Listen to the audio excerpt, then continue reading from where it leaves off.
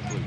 Brian, isn't it interesting that so many of the great players, and you see Bogdanovich knock down a three early on, so many of the great players are willing to steal or absorb from other great players. If they can do it, can I do it? If it helped them to great careers, maybe it'll improve mine.